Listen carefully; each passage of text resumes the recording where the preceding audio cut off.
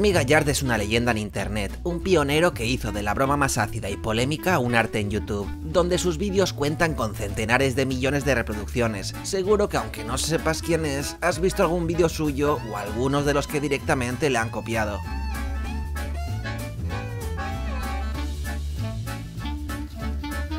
Dentro de los géneros cómicos, pocos han conseguido triunfar en internet como la cámara oculta y el vídeo al estilo vídeos de primera o los fails al estilo Failer Me que ya encontrábamos en aquel proto YouTube.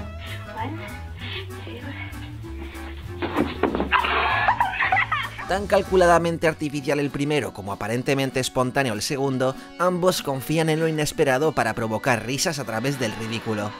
Y en un mundo donde la capacidad de capturar y reproducir imágenes en movimiento es omnipresente, estas formas rudimentarias de comedia revivieron un enorme boom de popularidad. Aunque no se puede negar que reducen el humor a meros accidentes sin profundidad, reconozcámoslo. Es difícil no reírse ante una situación absurda o una buena caída. ¡Ya, güey! ¡Por favor, idiota! ¡Ah! ¡Te bañaste! Aún así, estas herramientas tan conocidas ganan en originalidad e impacto, al menos cuando son utilizadas por grandes artistas. Al igual que un músico incorpora melodías populares en una sinfonía o un novelista utiliza jergas locales, Remy Gallard emplea tanto el vídeo casero como la cámara oculta para cuestionar con su comedia el mundo que nos rodea.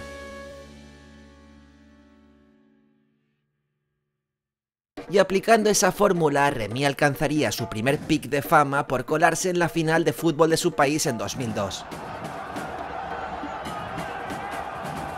Después del partido entre Lorient y Bastia, saltó al campo con el uniforme del equipo ganador y participó en la celebración como si hubiera sido parte del equipo.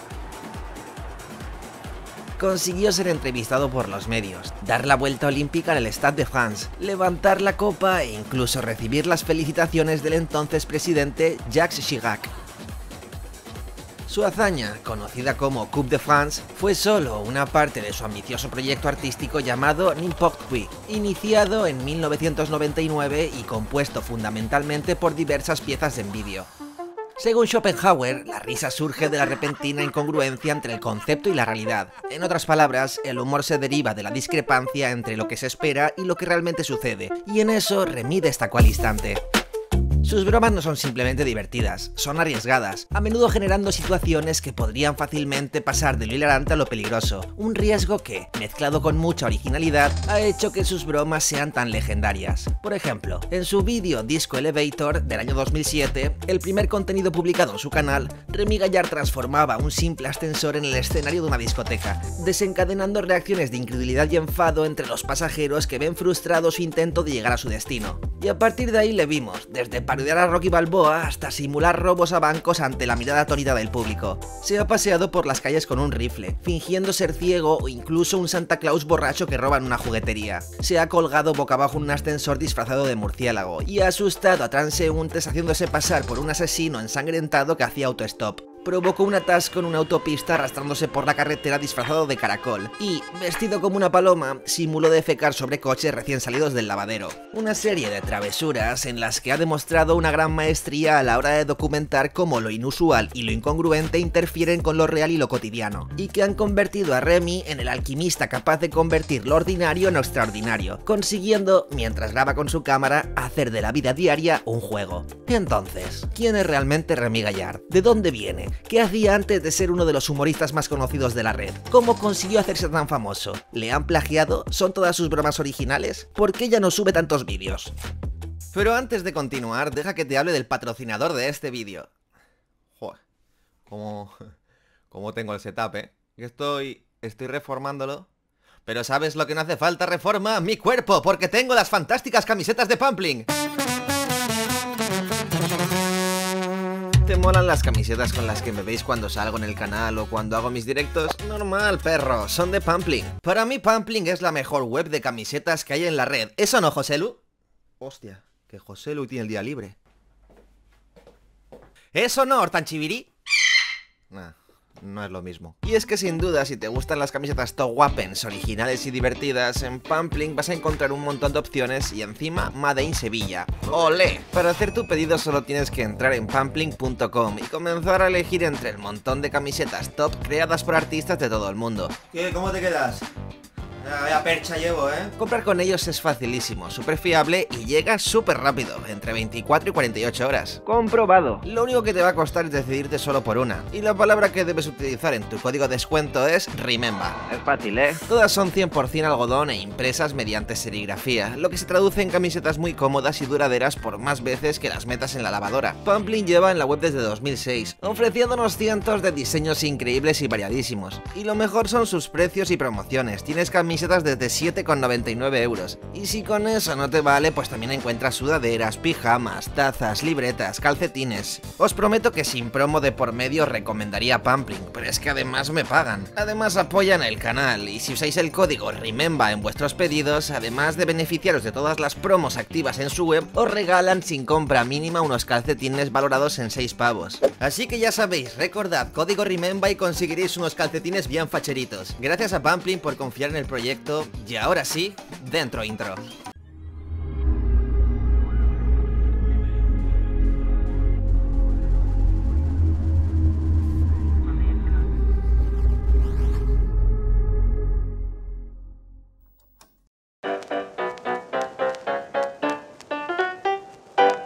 Cine mudo, entre otras, demostró dos cosas, que las historias y las emociones pueden transmitirse sin necesidad de diálogos y que para hacer comedias exitosas es imprescindible tener una excelente forma física y estar preparado para recibir golpes. En especial, figuras como Buster Keaton, Charles Chaplin y Harold Lloyd sobresalieron por su maestría en el uso de la expresión corporal, los gestos y el slapstick, una forma de comedia física que involucra la exageración de la violencia para conectar con el público y hacerlo reír. Keaton se destacó notablemente en ese aspecto. Desde los 5 años ya era la estrella del espectáculo de vodevil familiar que básicamente implicaba que su padre lo lanzara por el escenario e incluso hacia el foso de la orquesta. Esta situación llevó a que la Sociedad Neoyorquina de Protección a la Infancia, la Jerry Society, lo considerara un caso de explotación infantil que ponía en peligro a un niño. Pero para Keaton el peligro no significaba lo mismo que para la mayoría de los mortales, por lo que jamás en ninguna de sus películas usó un doble de acción. Cada toma que vemos, por más loca que sea, es el propio Buster el que está actuando y padeciendo. Para que os hagáis una idea, en esta escena mítica de Sherlock Jr., el agua del tanque ferroviario cayó tan fuerte que llegó a romperle el cuello, pero él siguió adelante sin detenerse. De hecho, la escena que vemos en la película es precisamente de esa toma. Si queréis profundizar en el fascinante mundo del slapstick y del cine mudo, os vuelvo a recomendar los especiales del descampado. El hecho de que un personaje que saltase desde un edificio y no se hiciese nada era igual que ver a un niño de repente que tampoco se hacía nada, porque tú imagínate lanzando al niño, se golpea contra algo, se pone a sangrar, no creo que fuera muy gracioso ver eso. No. Solo quería empezar por aquí porque lógicamente Remy se fijó mucho en este tipo de artistas a la hora de construir su comedia, tanto por ese lenguaje físico como por otro detalle que comentaré más adelante. Bah, non, Chaplin, bien sûr. Euh, Charlot, je veux dire, il y a... y a- y a- Chaplin, ça m'emmerde qu'on dise Chaplin, Ah, parce je- que je préfère Buster Keaton. Ah bon? Ah Ouais. bah, Moi, c'est Charlot. Franchement, non, mais je veux dire, franchement, il y a 10, 15 euh, séquences de Charlot où on le voit se faire poursuivre par euh, des marchands, des passants, des flics, etc. Et c'est vous. Votre truc, c'est la poursuite. Votre, votre truc, c'est.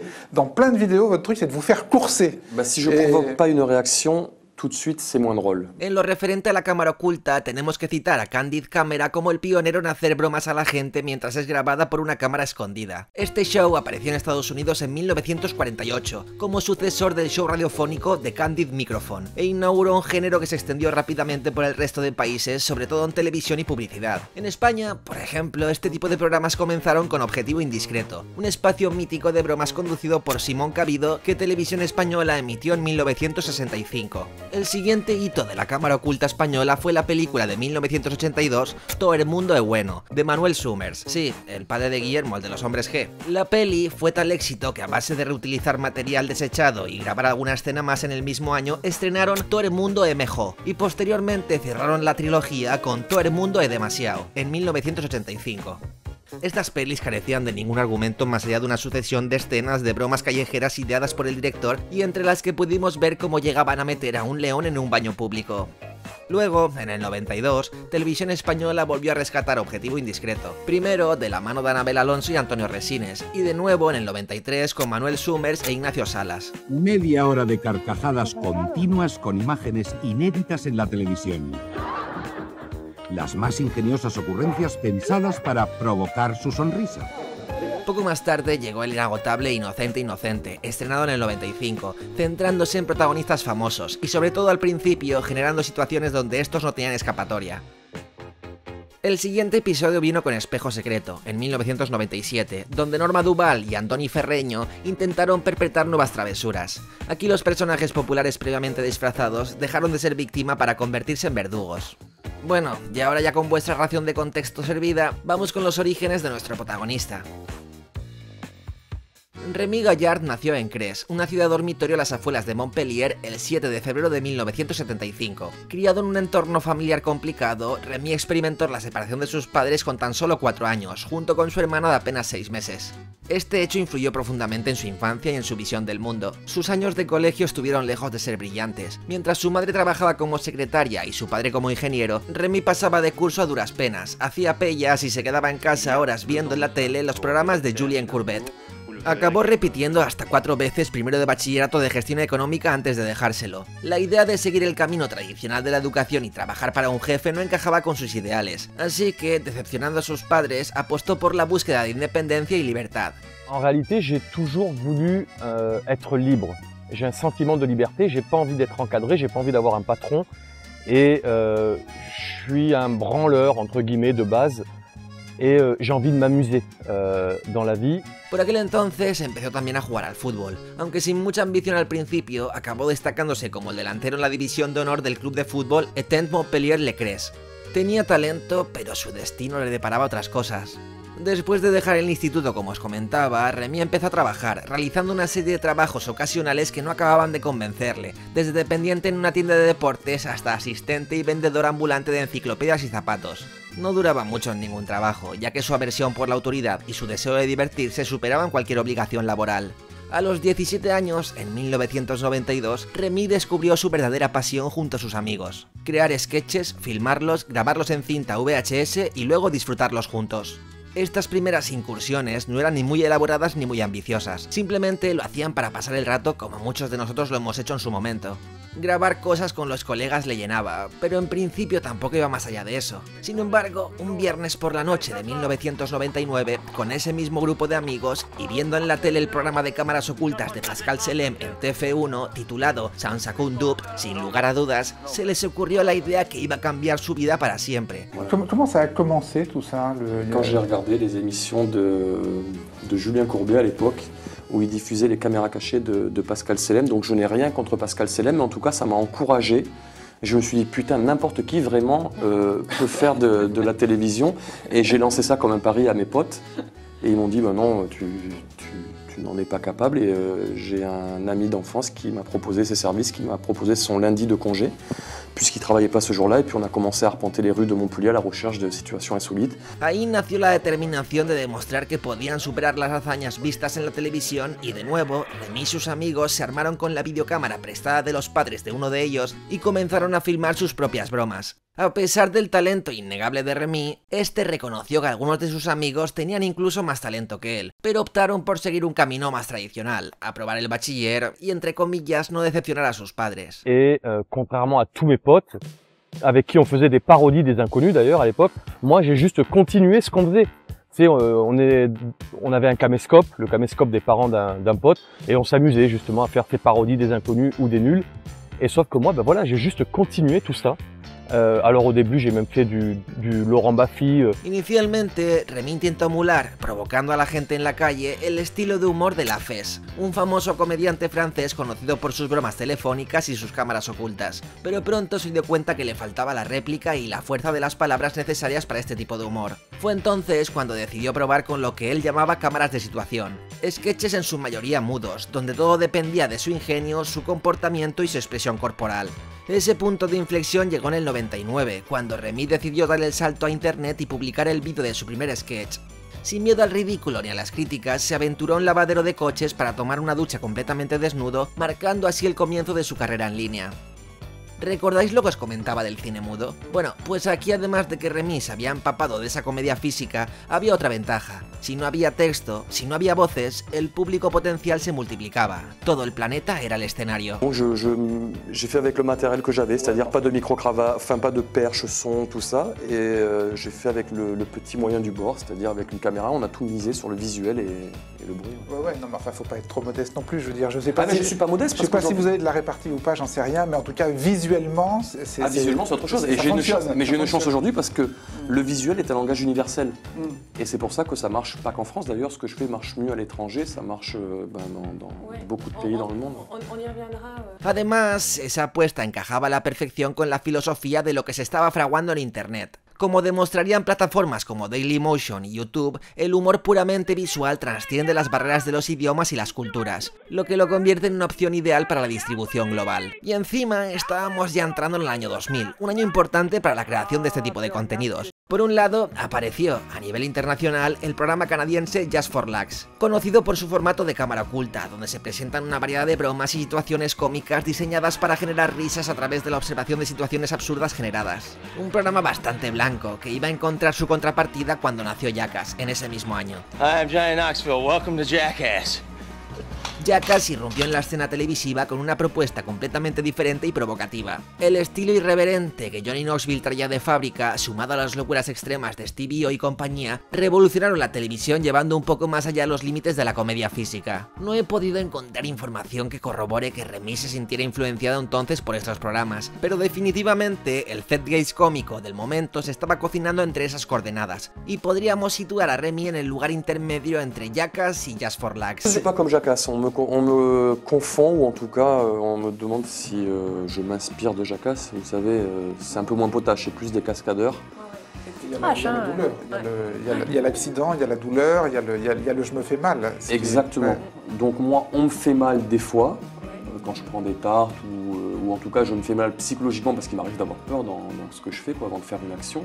Euh. En marzo de ese año, el 2000, Remy comenzó su búsqueda de reconocimiento yendo a París, donde buscó a los grandes del género de cámaras ocultas.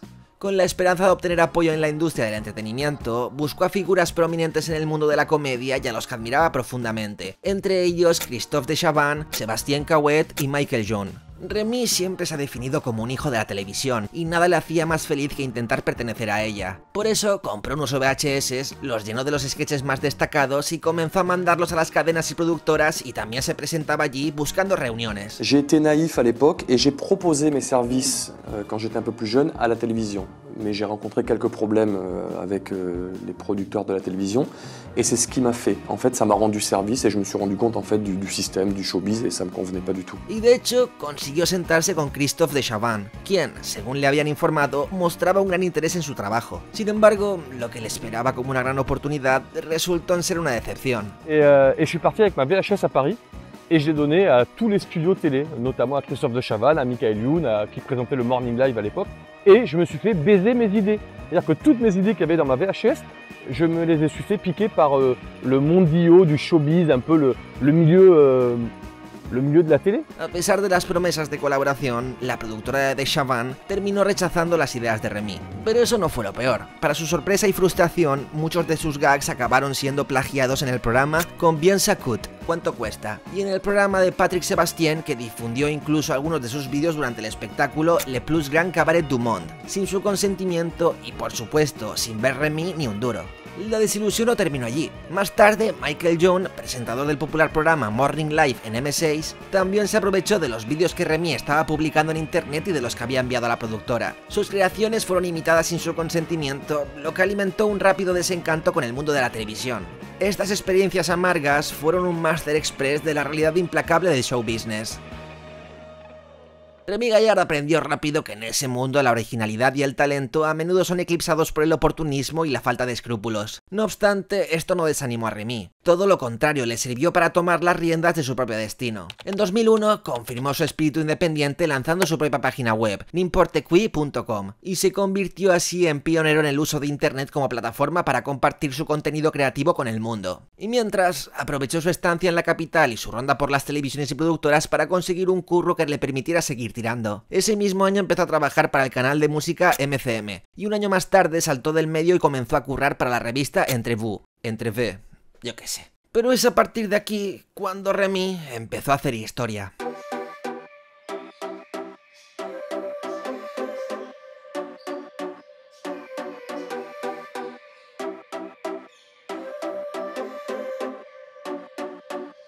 Al principio, Remy no alcanzaba la fama con sus bromas de cámara oculta, sino con sus intrusiones en eventos deportivos. De hecho, pasó por una etapa similar a la de Jimmy Jump, aunque con performances mucho más elaboradas. En 2001, durante un partido de exhibición de tenis entre Yannick Noah y Henry Leconte, Remy irrumpió en la pista y logró anotar un punto, dejando boca abiertos a los espectadores y demostrando al tiempo su facilidad para los deportes. Y sobre todo su capacidad para romper las normas establecidas. Pero como decíamos al principio del vídeo, su gran hit y el que lo haría realmente viral fue el acto que hizo durante la final de Copa de Francia de fútbol en 2002. Remy se disfrazó como un jugador del equipo de fútbol del Orient y se infiltró en el campo, para acabar compartiendo el honor de la victoria con los verdaderos jugadores. Es un momento surrealista, estrechó la mano del presidente de la República Francesa, quien aparentemente lo felicitó sin darse cuenta de nada. Por supuesto, Remy mantuvo en todo momento el personaje y hasta aprovechó la oportunidad para firmar autógrafos. Contaba Remy que después del episodio de Shigak, y desconozco si en persona, por llamada o a través de un interlocutor, este se puso en contacto con Remy. Le aconsejó que se calmara un poco. Otros presidentes posteriores ya no le caían tan simpático como Shigak. J'ai un sketch, j'ai un gag de 3 minutes euh, avec ce masque que je n'ai jamais mis en ligne, Et qui est inédit. qui est inédit et que je n'ai jamais mis en ligne et j'ai juste mis cette séquence dans le best-of des 10 ans. Vous nous le filez à la fin de l'émission? Non, parce que vous allez le diffuser et euh, si je l'ai pas mis en ligne, c'est parce que Il vous plaît pas? non, c'est parce que le président euh, me fait peur. C'est vrai? Ouais. Vous avez peur de sa réaction? Franchement, ouais. Sans blague. Bah ouais, ouais, c'est vrai. euh, Donc c'est une- J'ai regardé les informations il y a, c'était il y a deux ou trois ans. Je crois qu'il y a un jeune dans une cité qui l'a insulté. Il, a- il est parti en garde à vue. Donc euh, j'essaie d'éviter les problèmes dans la mesure du possible et puis je peux m'en passer en fait. quoi. Pero ya abordaremos la faceta política del humorista de Montpellier más adelante. Ese mismo año Remy continuó desafiando las normas y se infiltró en un partido de voleibol internacional con la camiseta de la selección francesa. Salió hasta por Eurosport cantando el himno nacional de la marsellesa en vivo.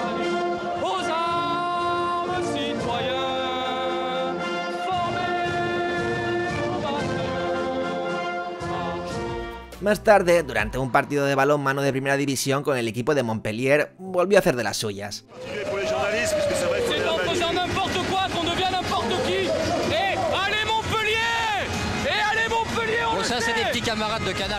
También, en 2002, logró subirse al podio de Mister Universo de culturismo, donde posó junto a los culturistas, hasta que le pillaron.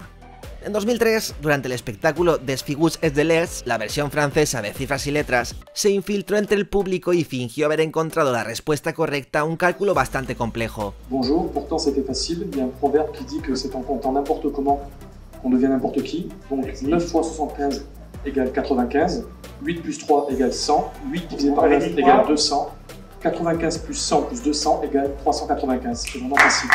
Merci. Suivi. Como el programa no se emitía en directo, la productora recortó ese fragmento, pero lo podemos ver en su canal. El mismo año también se presentó para participar en el concurso Questions pour Champion, preguntas para un campeón, y acabó consiguiendo que Julien Lepers, el presentador del programa, lo echase del mismo.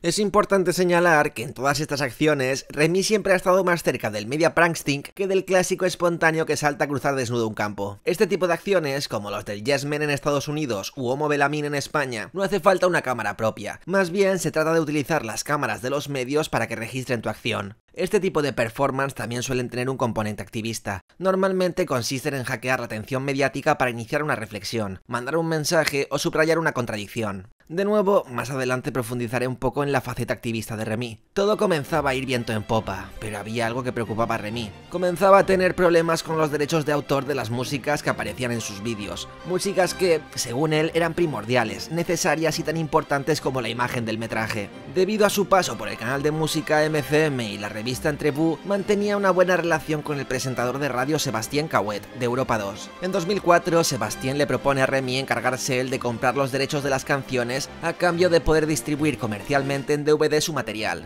Un plan que parecía perfecto, hasta que Remy se enteró de que lo que Sebastián estaba haciendo realmente era componer otras músicas libres de derechos para dichas piezas. La colaboración se rompió al estilo Gallard. J'ai rencontré euh, Koé, qui est un animateur sympathique. Je l'ai rencontré à Montpellier, je l'ai piégé euh, lors d'une émission qu'il faisait en direct euh, du Zénith de Montpellier. Il, me conna- enfin, il avait déjà vu mes vidéos, il m'a il m'a dit de venir à Paris pour signer un contrat. C'était l'époque où ça marchait euh, moyennement et j'ai mangé avec lui. Et il m'a inspiré confiance. Et alors après, ce qui s'est passé, c'est que j'ai pas lu euh, le contrat? et qu'en fait, ce qu'il m'avait dit euh, au repas n'était pas forcément ce qu'il voulait faire après. Et donc euh, je l'ai appelé, je lui ai dit bon écoute, euh, si euh, tu résilies pas le contrat, je débarque à Paris je fais une grève de la faim devant les studios de TF1. Y a pesar de haber firmado un contrato con Cauet, este vio el ruido mediático que se le podía venir encima y dejó pasar el tema.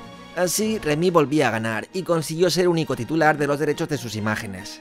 Por fin, llegamos a 23 de abril del año 2005, momento en el que el usuario y fundador Jawed inauguró YouTube con ese mítico vídeo de Me at Zoo, en el que, como prometía, aparecía en un zoo de San Diego con elefantes a sus espaldas. Un año antes había aparecido Vimeo, pero curiosamente la primera plataforma donde Remy lo petó fue Dailymotion, un sitio web francés donde alojar vídeos que nació ese mismo año que YouTube.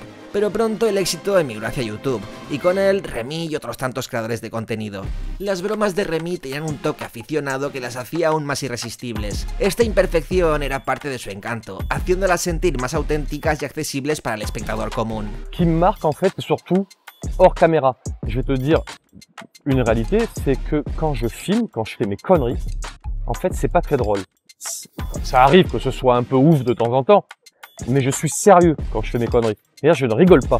C'est-à-dire que le mec qui me suit, qui me filme, si jamais il rate le cadre, j'aime bien quand c'est un peu mal cadré, mais j'aime bien quand c'est bien mal cadré.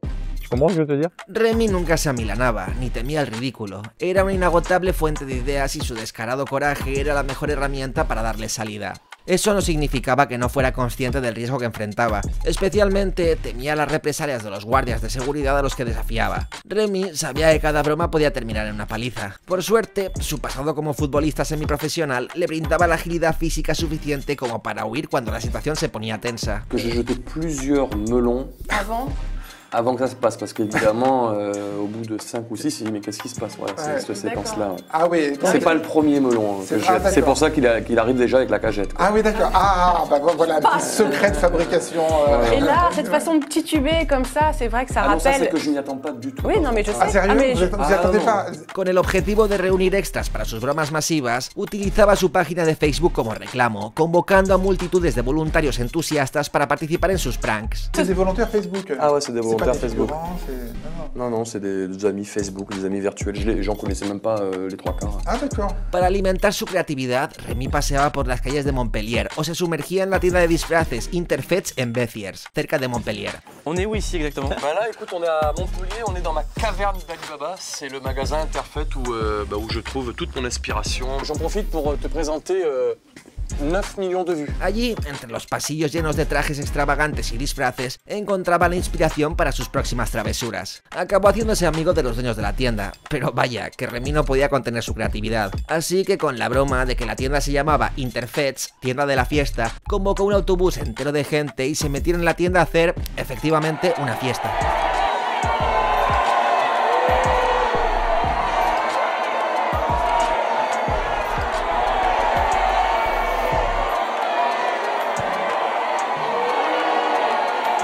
Reventaron media tienda y al principio los dueños amenazaron con denunciarlo. Je, je suis venu avec un, un bouquet de fleurs le lendemain, bon elle me l'a mis dans la gueule. Vous êtes cassé alors c'était le bordel Ah oui, oui, là oui, là oui. C'est-à-dire on, a- on, on- on va jusqu'au bout. Et le lendemain, je suis revenu pour m'excuser, tout ça, bon... euh, Ils ont jamais porté plainte non, et euh, c'est devenu des amis. Finalmente, cuando vieron la repercusión que se les trajo, este vídeo a día de hoy tiene 14 millones de visitas, pues acabaron, como os decía, haciéndose amigos. Las bromas a la policía, al igual que los disfraces, se convirtieron en un sello distintivo de Remy, atrayendo aún más atención a sus vídeos. Pourquoi la police? Pourquoi la police? Pourquoi pas? Voilà, alors, Alors, ça- ça- excellente réponse. ça, c'est chapitre, la- ouais. chapitre suivant. Non, non, mais c'est. Non mais c'est vrai que les, les- les gens aiment beaucoup quand je m'en prends entre guillemets aux forces de l'ordre. Ah oui. Et euh, c'est comme un feu d'artifice. Dans une vidéo, si je peux avoir une séquence forte, c'est comme un bouquet final, les gens aiment bien. Et souvent, la police est une proie facile pour euh, faire plaisir aux, gens. Mais c'est facile à comprendre, hein. c'est qu'on en a, on en a marre bah, de prendre des PV, euh, de... Et enfin bon, voilà, c'est... La, la la. Por ejemplo, mientras conducía por Montpellier disfrazado de Mario, fue detenido por la policía y llevado a comisaría. Eso sí, según cuenta Remy, mientras estaba bajo arresto, los agentes le pidieron que se volviera a colocar el bigote y la gorra para tomarse fotos juntos. Otra vez, en la broma que Remy se disfraza de radar y comienza a tomar fotos a los coches que pasan, la policía lo detiene de nuevo. Sin embargo, dice que no pudieron multarlo ni tomar ninguna medida en su contra, ya que no existía ninguna ley que prohibiera eso concretamente. Con todo esto, llegamos a la forma final de Remy. Ya teníamos en la mesa todos los elementos de la ecuación Gallard. La forma física de alguien con talento deportivo natural, el descaro de un espontáneo, una mente especialmente dotada para la travesura, capacidad de convocatoria vía redes sociales, su poquito de rebeldía frente a la autoridad, una pizca de activismo y un ligero topping de referentes de la cultura pop en los ingredientes para que Remy tocase la gloria y se convirtiera en un prankster mundialmente conocido. El canguro, Mario Kart, Pac-Man, el caracol, Rocky, Decathlon, Murciélago, Tetris, todo clásicos de YouTube que llegaron hace más de una década. Cada vídeo que sacaba explotaba en visitas, cada vídeo que lanzaba se convertía automáticamente en viral. Su webmaster entonces se beneficiaba con los ingresos generados también por la web, mientras surgían colaboraciones con marcas como Knockbacter, Nike, Orangina y Sony que le proporcionaban un ingreso adicional considerable. Con aproximadamente 2.000 euros por vídeo, Remy estaba convirtiendo su pasión por las bromas en un negocio lucrativo. Luego, esas cantidades se vieron incrementadas, sobre todo a la hora de hacer bromas que implicaban más y mejores medios, como la broma del Tour de Francia, la de la Champions League o la misma broma que comentábamos en la tienda de disfraces. Mais Alors, le sponsoring, il consiste en quoi? Il vous donne quoi exactement? Ils me donnent de l'argent. il vous, il vous paye vous directement, c'est pas qu'il donne des moyens pour, la, pour, le, pour le Ils tournage m'ont- S'ils m'ont aidé pour une, une autre séquence où ils m'ont aidé pour réunir 20 bus pour, euh, pour faire exactement la. Pour, enfin, pour faire une parodie de. Tal fue el éxito que, como había hecho Jackass previamente, en 2013 Remy lanzó su propia película, N'importe qui, Le Film o What the Fuck, en territorios de habla inglesa, pero se estrelló en taquilla y no tuvo ningún éxito. Tiempo después Remy renegaría de la misma, contando que no pudo apenas participar en el diseño y el montaje de la película. Je regrette euh, un film auquel j'ai participé. Tout le monde pense que c'est mon film, mais c'est pas mon film. Il a été réalisé par un autre réalisateur et je me suis fait baiser à l'heure du montage. Parce que toi qui connais la vidéo, le montage c'est magique, c'est là où il se passe tout. Tu peux raconter n'importe quelle histoire avec quasiment n'importe quelle image. Et, euh, et là, j'ai pas participé à la post-production. C'est un film qui s'appelle N'importe qui, qui est un peu sur moi. C'est une daube monumentale. En 2013, Remy orquestó un elaborado engaño dirigido al programa de la cadena privada TF1 llamado Confesiones Íntimas. Este programa, conducido por Marion Jols, invitaba a individuos a compartir momentos cruciales de sus vidas, mostrando sus emociones ante las cámaras con el respaldo de un psicólogo, un poquito como un diario de Patricia. Una de las historias más notables del día giraba en torno a Aureliano, un adolescente con discapacidad mental y casualmente ferviente seguidor de Remy Gallard, cuya complicada relación con su novia se exponía públicamente en el programa. Sin embargo, se descubrió que todo era una farsa meticulosamente planeada. Gallard desenmascaró el engaño en su página de Facebook durante la emisión del programa y lo detalló aún más en un vídeo compartido en YouTube. En sus acusaciones, Gallard señaló al equipo de producción del programa por manipular a los participantes. TF1 respondió con amenazas de denuncia, pero nunca llegaron a nada. Por culpa de esto, Remy sufriría el veto de los canales de televisión en el futuro.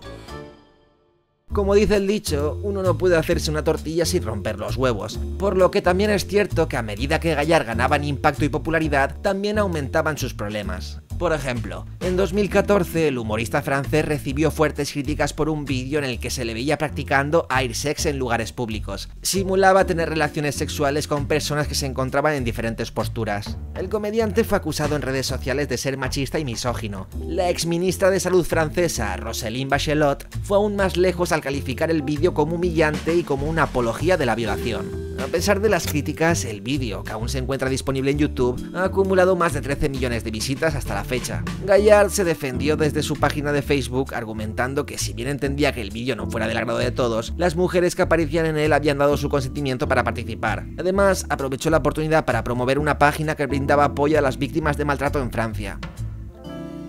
En este punto, y a pesar de continuar con sus bromas de cámara oculta, su contenido había empezado a virar hacia el activismo, concretamente a la causa que más motivaba a Remy, la defensa de los animales. J'avais un chien, le chien de ma vie. Euh, le chien de ma vie, et quand il est parti en 2011, j'étais pas destiné à avoir un chien. Mon ex avait un chien et un jour elle s'est barrée, elle m'a dit euh, Tiens, euh, tu vas promener le chien pendant 2-3 mois, le temps que j'aille faire une saison dans les Landes, et tu vas arroser les fleurs. Donc moi j'ai arrosé le chien et euh, j'ai promené les fleurs. Quoi, tu vois, je sais plus où je campais. Et elle est jamais revenue. Très longtemps après. Et ce chien c'est devenu mon meilleur pote. Même lui était abandonné. Parce que c'était le chien de cette meuf quoi. Et on a appris à se connaître et finalement je te jure que ce chien est devenu... Euh, c'était, enfin de toute façon un chien c'est la famille. Mais là c'était plus que ça quoi. Lui était paumé, je suis devenu euh, son meilleur ami aussi. On était ensemble tous les jours, j'allais promener tous les jours, des fois je faisais des vidéos ou pas. Et quand il est parti, je me suis, mais c'est pas possible quoi. C'était euh, et, euh, et je lui ai promis de tout faire pour lui Se introdujo en un coto de caza y persiguió a los cazadores junto a varios de sus seguidores disfrazados de cebras, tigres, elefantes y ciervos. Apareció en una playa flotando sobre una plataforma que semejaba un trozo de hielo vestido de oso polar. También se disfrazó de cerdo mientras entraba furioso a una carnicería. Vamos, sin perder su sello, fue abordando temas como la explotación de animales salvajes, los abusos de los parques marinos o los maltratos en mataderos. En 2016 se encerró voluntariamente en una jaula durante 24 horas para recaudar fondos y concienciar sobre la adopción de animales en un refugio. Esta iniciativa fue respaldada por diversas personalidades y logró recaudar más de 200.000 euros y encontrar refugio a todos los animales del mismo. Además, organizó el primer festival para la protección de los animales, destinando los fondos recaudados a la construcción de espacios más amplios y libres para los perros en los refugios. También ha llamado al boicot de los circos con animales, asociándose con organizaciones como PETA para denunciar el maltrato animal de este tipo de espectáculos. Pero a pesar de su lucha por los derechos de los animales, su imagen seguía tocada por todo el revuelo del vídeo del air pero todavía los problemas no habían acabado. ¿Recordáis toda su polémica con las televisiones francesas con el tema del plagio de sus sketches? Pues ojo a este plot twist. Desde 2010, el humorista Dom Joly, quien producía el programa británico Trigger Happy TV en el año 2000, llevaba denunciando, aunque tampoco con mucho ahínco, que existía un humorista francés que le estaba copiando los gags y los sketches. El francés obviamente era Remy Gallard, pero bueno, como digo, eran unas reclamaciones casi anecdóticas que no tenían mucho impacto. Hubo que esperar a 2017 para que se armara el revuelo, Iba a entrar en escena Copy Comic, un canal de YouTube francés que imparte justicia en el mundo del humor denunciando a aquellos cómicos que plagian chistes. Con un vídeo de casi 10 minutos en el que compara las bromas que realiza el francés en contraposición con las emitidas en Gran Bretaña por el Canal 4 entre 2002 y 2003 en el citado Trigger Happy TV, quedó claro que las denuncias de Dom Joly pues sí tenían fundamento. Y lo cierto es que algunos extractos parecen copiados y pegados.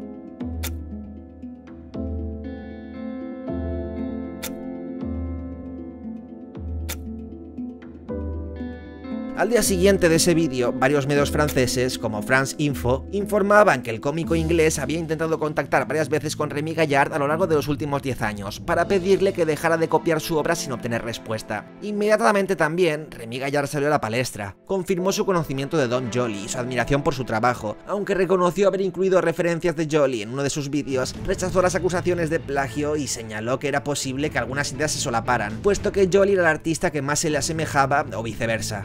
Ambos compartían referencias, ambos reconocían mucha influencia de Buster Keaton, pero no parecía suficiente como para justificar las notables similitudes entre sus vídeos. En un intento por dar zanjada a la polémica, Remy Gallard aseguró que habían hablado, que Dom Jolly no tenía problemas con él y anunció que iban a reunirse para grabar un vídeo juntos. Sin embargo, eso fue antes de que Jolly viera el vídeo de Copy Comic. Yeah, I mean, I'd had no intro. I'd been sort of told by people, and people had shown me things he'd done in the past. Uh, and he'd name checked me on a TV show once. Um, but I liked a lot of his stuff. But I had seen a couple of things that, you know, were like, wow, okay. I mean, that literally has just copied mine almost shot for shot. And then uh, out of the blue, suddenly, I get, I think it was a DM or in my Twitter, I can't remember what it was in, uh, from Remy Gaillard saying, hey, how you doing? And I was like, oh, that's weird. You know, like I've never heard from him in 16 years or whatever. Uh, and then he says, how you doing? Uh, wondering if you're up for a collab, you know, collaboration. And I was like, it's a bit weird. Like that's out the blue. And I don't really do pranks anymore. I'm a travel writer. Um, but I thought, yeah, I mean, I'd like to meet him anyway. And then suddenly I got contacted by these people called Copy Comic. And they showed me this video they'd made, putting my stuff right next to Remy's. I mean, it was much more than I thought. And it was much more kind of industrial theft, really, than I realized. And then they, said, this is going out. We're going to release this to the, the press. And I said, well, fine. You know, it's, I mean, there's nothing, it was nothing to do with me. The thing got released. And then Remy's defense, which I read about, was he said, oh, what are you talking about? No, we're mates. Me and Dom are mates. And we're doing a collaboration even. He'd realized, he'd obviously heard this thing was coming out. And uh, he thought, shit, I need some sort of alibi. And so he'd like contacted me out the blue, you know, asked for this collaboration and then use that as a kind of, how can I nick his stuff? I mean, we're mates, we're collaborating together.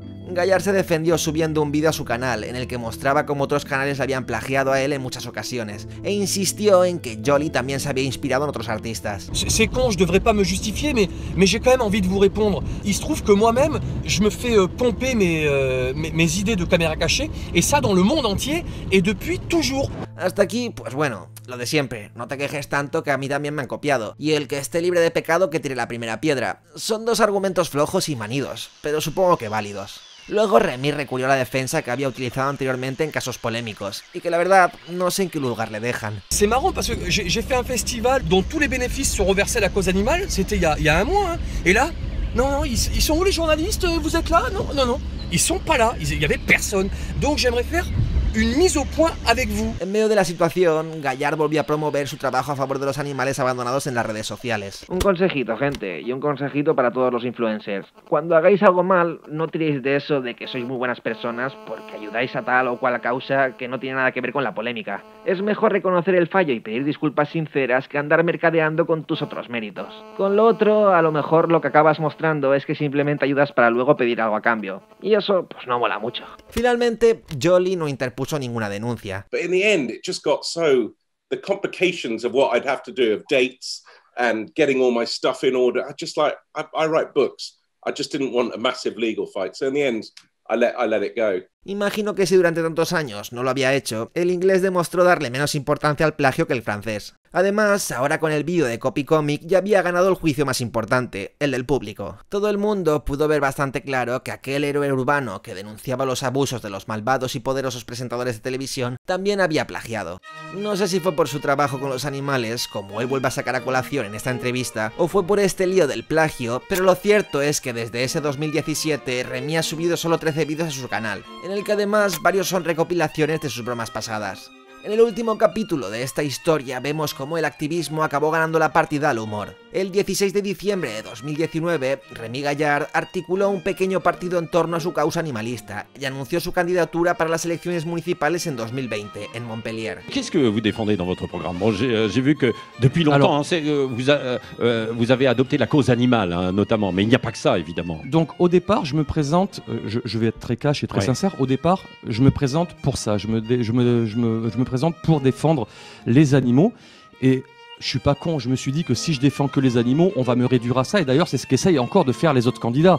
Euh, viens sur ma liste, tu seras euh, adjoint les Pour les animaux. Las encuestas locales tienen en cuenta la fama de Remy y mostraron una buena acogida para este candidato advenedizo, cosa que confirmó en la primera vuelta, bajo el lema Yes We Clone, que obtuvo el 9.58% de los votos, superando a muchas listas respaldadas por partidos políticos prominentes. De todas formas, debido a que en el sistema de fases hay una segunda vuelta, esos votos fueron insuficientes para optar a la nueva y definitiva ronda. Je crois qu'à 200 voix, à 212 voix exactement. Je crois qu'à 212 voix, j'avais une véritable chance d'être maire de Montpellier.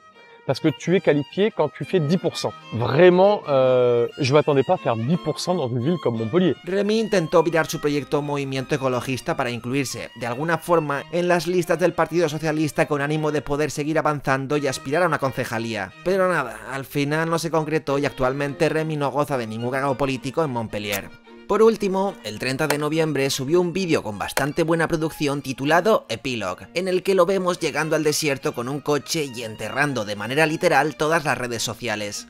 Al llamarse epílogo, que se refiere a la sección final de una obra, muchos pensaron que este vídeo anunciaba que Remy abandonaba las redes sociales finalmente para centrarse en sí mismo. Pero si lees la descripción, siempre es necesario conocer los límites de lo posible, no para detenerse, sino para intentar lo imposible en las mejores condiciones. Y ves la escena final con la bombilla en la mano encendiéndose, uno entiende que esto anuncia más un regreso que una partida. Nosotros estaremos atentos.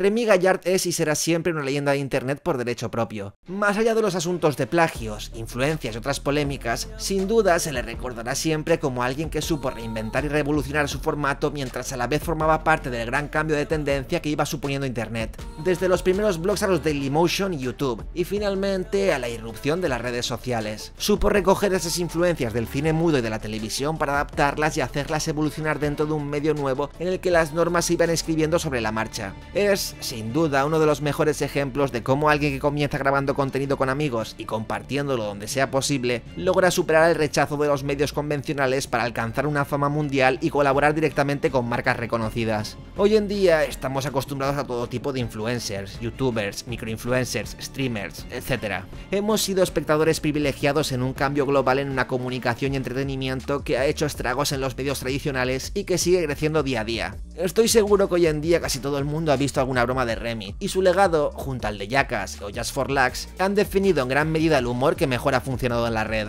Momentos como el famoso Caranchoa son hijos directos de esta corriente de cámara oculta gamberra. De hecho, hoy en día todos podemos grabar cualquier cosa en cualquier momento con nuestro teléfono, y todos tenemos algún perfil en una red social. Y el que diga que nunca ha posteado su propio intento de cámara oculta, ni que sea con un familiar o un amigo, pues que tire la primera piedra. Sobre el tema del plagio, como decía antes, lo único que puedo reprochar realmente a Remy es cómo gestionó su defensa, con eso de sacar a relucir su compromiso animalista y demás. Por lo demás, esto es un tema viejísimo, presente en todas las formas de arte o entretenimiento desde siempre. Tarantino revolucionó el mundo del cine en el 92 con su primera película Reservoir Dogs. Todos vimos esa reinvención del hardboil donde mafiosos hablaban de Madonna y alguien se desangraba lentamente según iban avanzando la peli como algo revolucionario que no habíamos visto nunca.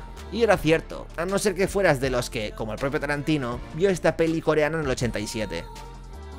Suele decirse que lo realmente importante al hablar de un estilo musical nuevo o cualquier otra revolución no es tan importante el que lo hace primero como el que lo hace mejor. Y aunque es innegable que varios de sus sketches estaban inspirados en el trabajo de Dom Jolly, no hay vídeo de Remy que no esté replicado al menos por un programa de bromas brasileño, indonesio o de cualquier otra parte del mundo. Así que al menos la fama de Remy también contribuyó a que en todo el mundo se vieran las ideas de Jolly. Y tampoco me entendáis mal, copiar no está bien, pero también es cierto que la inspiración y el plagio a menudo están separadas por una fina línea.